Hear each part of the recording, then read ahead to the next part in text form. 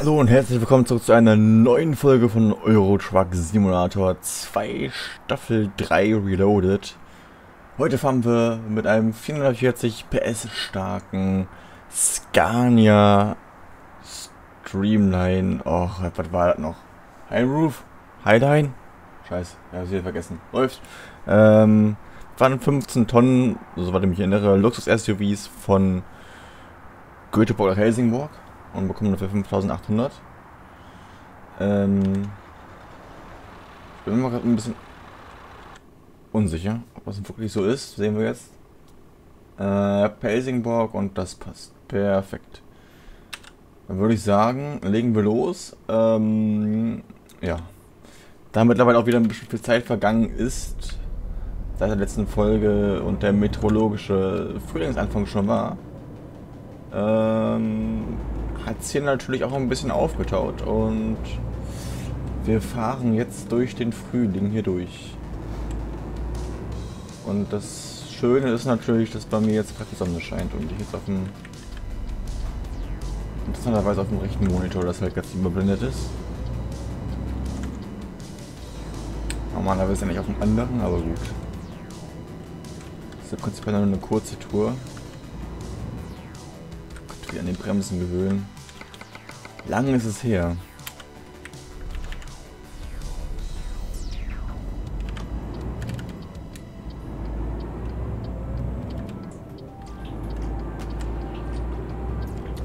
Ach, schön, die Sonne wieder. Zack, jetzt kann ich wieder mehr sehen. Das ist super. Ich muss mich noch daran gewöhnen, dass ich auf einen anderen Monitor gucken muss.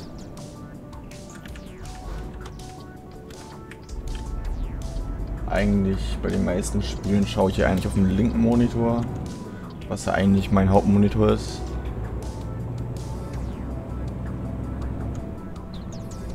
Aber jetzt muss ich auf dem rechten gucken.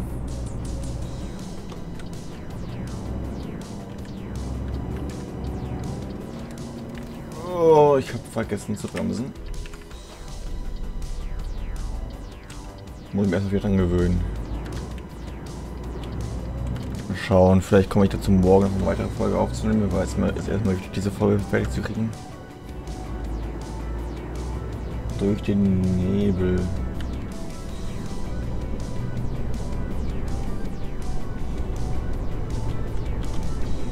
Es ist auch eine schwere Geburt hier eine Mod zu finden, die noch kompatibel ist, oder noch einen Download, einen kompatiblen Download zu finden.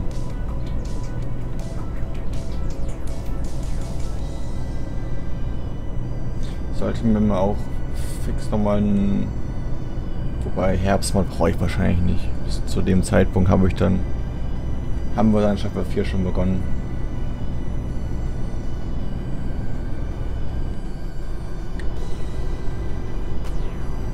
Ja, ich sollte morgen definitiv mal ein bisschen was aufnehmen, ein bisschen was vorproduzieren von Road Truck Simulator.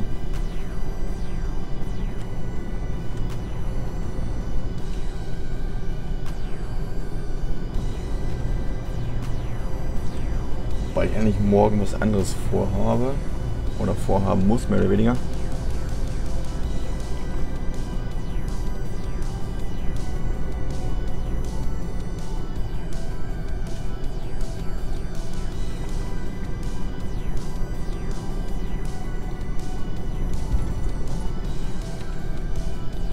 Vielleicht habe ich es bis dahin aber auch schon geschafft, dass ich äh, mich ein bisschen informiere ein bisschen aufwendiger, was das betrifft, jetzt zu produzieren, aber mal gucken.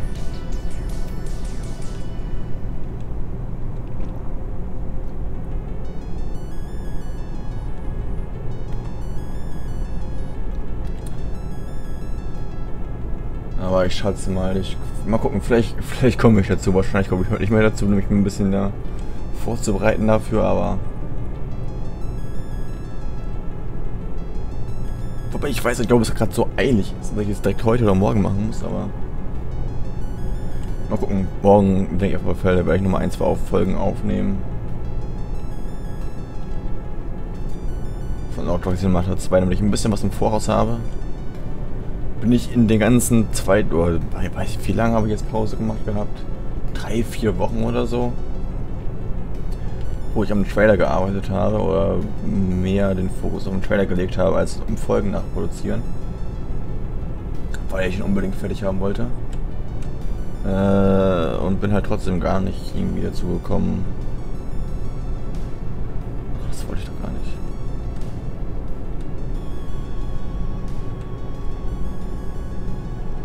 Mm, okay, ja. Vier Wochen ist es her. Mehr als vier Wochen sogar.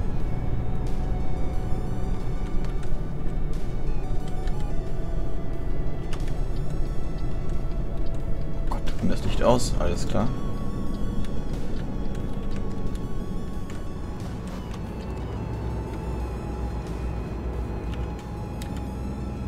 Da wollte ich eigentlich die Zeit nutzen, um auch ein bisschen was vorzuproduzieren, aber irgendwie hat das nie so geklappt.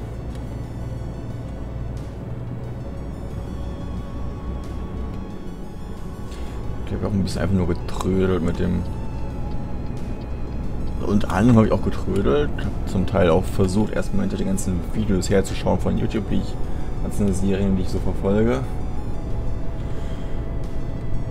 Äh, ja, dann nebenbei noch zum Teil... Mh, oh Gott, das ist ein MMOGA-Char gewesen, also halt ein, auf alle Fälle ein Dungeons Dragons Char, so gesehen war ein Spiel von einem Dungeon Dragon von einem Dungeon Dragon Spiel oder angelehnten Spiel äh, ein bisschen Char weitergebaut, weitergebildet, weitergefarmt.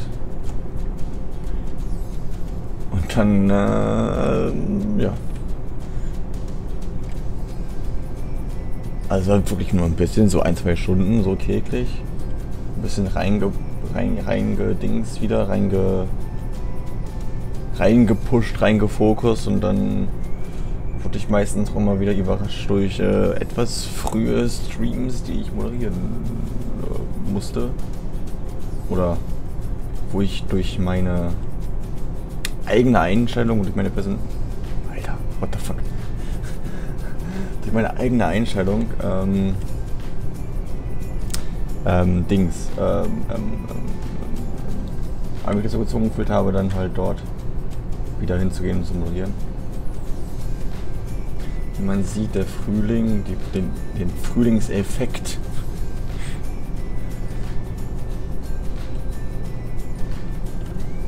Der Vegetation. Die Stunden sind natürlich jetzt auch anders. Wir haben halt zwar immer noch Central European Summertime, aber ist ja auch halb so wild.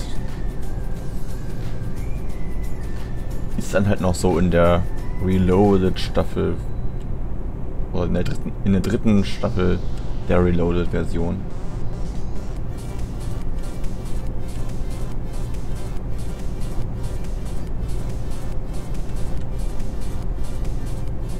Also ich bin mir sicher, dass du prinzipiell gesehen, äh, also wirklich komplett prinzipiell gesehen, ich weiß halt nicht, wie das in Dings ist, in, in, in Schweden, aber dass du im Prinzip auch in fahren könntest oder dürftest.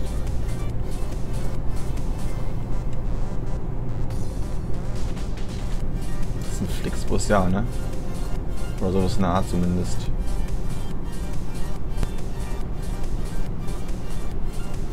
Na toll. War klar, das anfängt zu regnen. Okay, 150 Kilometer haben wir, glaube ich, jetzt nicht bei uns gelegt. Eine kurze Folge zum Einstieg ist, glaube ich, auch nicht verkehrt. Ne? Muss man ja nicht direkt mal 40 Minuten Brecher oder so anfangen.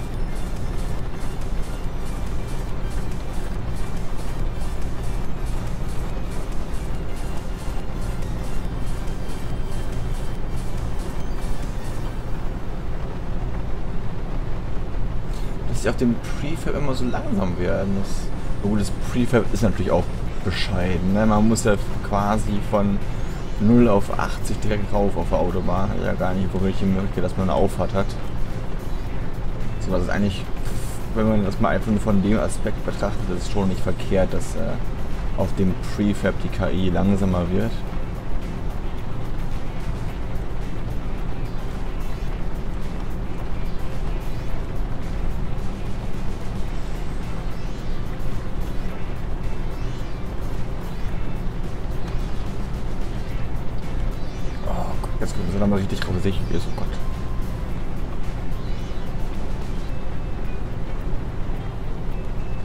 Heute wäre echt nicht der Zeitpunkt, um viel aufzunehmen.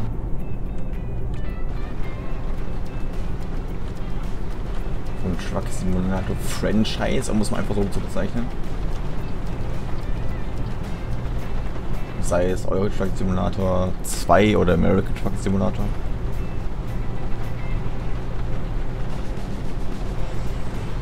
Das muss ich wirklich früh machen.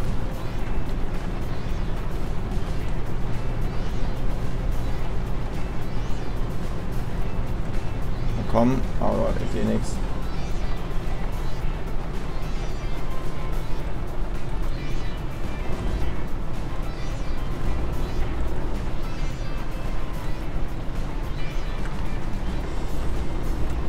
Wir müssen wahrscheinlich auch gleich wieder raus. Noch relativ bald. Oder wie schaut's aus? Ah, es geht.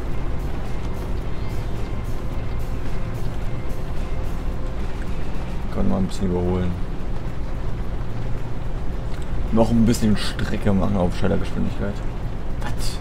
Wir sind echt schon fast da? Das ist echt eine kurze Folge. Na gut. Nach der Pause kann man auch mal wieder kurz anfangen, nur klein anfangen, mehr oder weniger klein.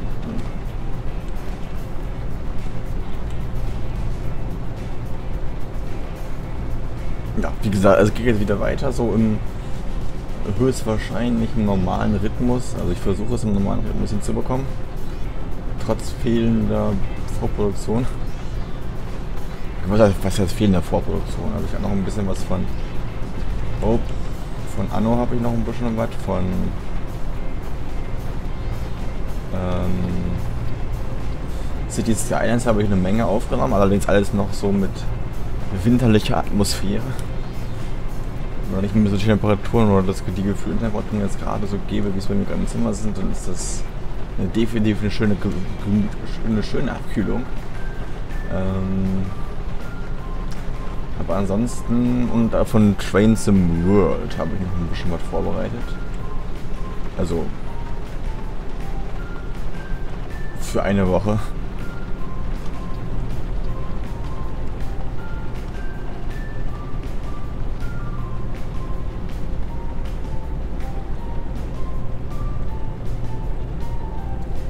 Aber da kommen wir auch wieder rein.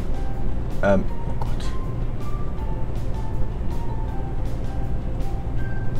Okay, Festplatte jetzt wieder full wegen Helsingborg. Heilige Scheiße.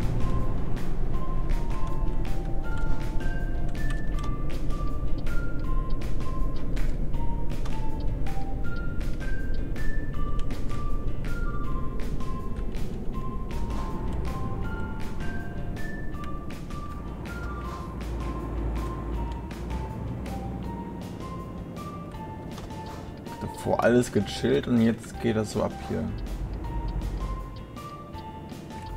Kurz vor Ende. Oh Gott. Warum bis es beruhigt, wobei das ist eine schöne Position, wo wir rein müssen.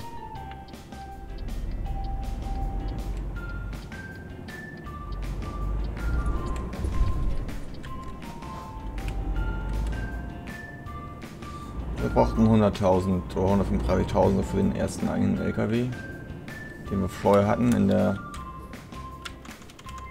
ersten, oder in der, in der Staffel einfach nur. Das war verkehrt.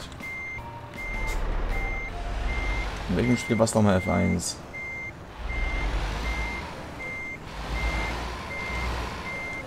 Warum bin ich so fixiert auf F1, um es halt auszuspielen? Ach ja, hier. Trains World, genau.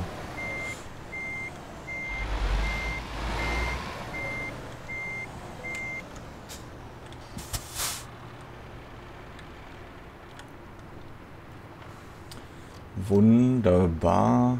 Perfekt. Dann wollen wir mal kassieren. Ich glaube, wir brauchen um 135 oder so. War ein guter Rhythmus oder gutes Dings. Ähm, guter Anpeil-Dings. Anpeil-Budget von der eigenen LKW. ja, ausgezeichnete Luxus-SUVs von Göteborg nach Helsingborg geliefert. 256 Kilometer gefahren, 3,5 Stunden haben wir gebraucht, 162 Liter verbraucht. Wir bekommen dafür 5.866 Euro und 437 Erfahrungspunkte, steigen damit ein Level nach oben und gehen demnach nochmal auf einmal Fernfahrten weiter nach oben. Lieferung bis zu 550 Kilometer pro, ach, pro Stunde, genau. Also würde ich sehen. Äh, und plus 10% höhere Vergütung bei Lieferstrecken über 350 Kilometer. Hervorragend. Dann äh, speichern wir das Ganze mal ab. Folge 18. Und ja, wie gesagt, ich glaube, wir hatten, da muss ich nochmal nachschauen, aber ich glaube, wir hatten vielleicht sogar die neue Generation genommen. Von den Scanias. besuche den einfach mal. Aber ich weiß es nicht 100%. Es kann sein, dass es halt so ein, ein Scania S gewesen ist. Und nee, ein, Sc ein Scania R. Ein Scania R oder ein Scania S gewesen ist.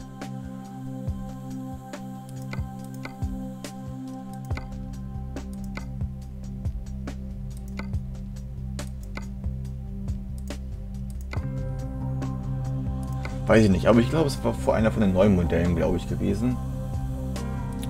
120.000, ja, sagen wir 125.000 brauchen wir so Pi mal Daumen. Glaube ich. Vielleicht. Vielleicht brauchen wir auch weniger.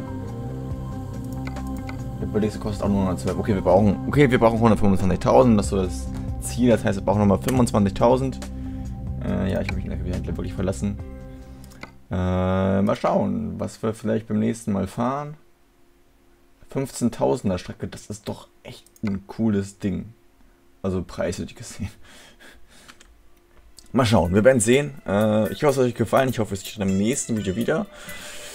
Bis zum nächsten Video werde ich nochmal nachschauen, welchen LKW wir in der zweiten, ach, in der dritten Staffel gehabt haben, uns gekauft haben, falls wir uns eingekauft haben. Wenn nicht, dann werden wir mal gucken, ob wir uns einen Scania S nehmen oder einen das ist ein Scania eher der andere. Also einer von den neuen Modellen werden wir es wahrscheinlich nehmen. Oder haben wir den Stream? Nein, ich weiß es nicht. Wir werden sehen. Ähm, ja. Macht's gut und bis zum nächsten Mal. Tschüss.